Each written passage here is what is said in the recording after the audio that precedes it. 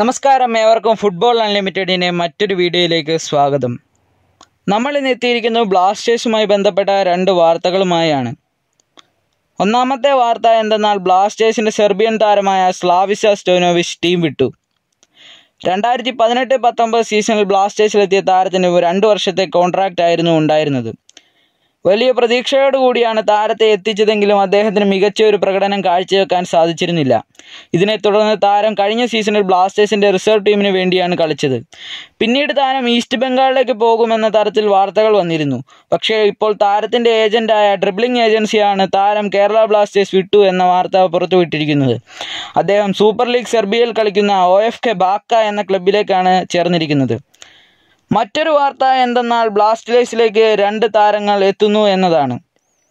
ഒരു താരം south American player ആണെന്നും മറ്റൊരു താരം ഡച്ച് ലീഗിൽ കളിക്കുന്ന ഒരു താരമാണെന്നും ആണ് ഇപ്പോൾ അറിയാൻ കഴിയുന്നത്.